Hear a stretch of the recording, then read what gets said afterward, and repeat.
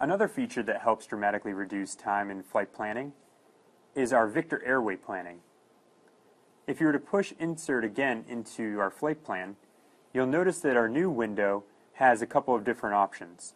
We can either hold at the Manchester VOR, we can insert another waypoint, or we can pick up an airway that intersects that VOR or NAVAID.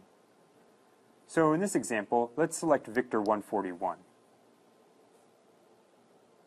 Once we select what Victor route we want to be on, you'll notice that we'll get a list of exit points. We can scroll through this list of exit points to find which one we want to terminate our Victor airway on.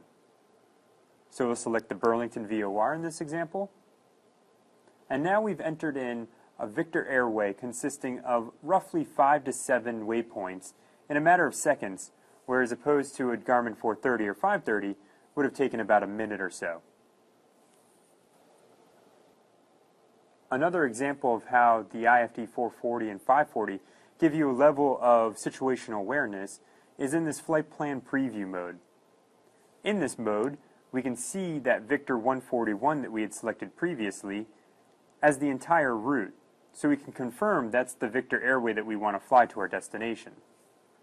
Once we press enter and see that list of exit points once again, we can actually watch the flight plan being built out all along our route. Just another level of confirming that that's the right route we want. So now that the in route segment of our flight plan is complete, if we press insert once again and select waypoint, GeoFill will automatically nominate the closest airport to the last nav aid that we put into our flight plan. So if we press enter, our flight plan is now complete.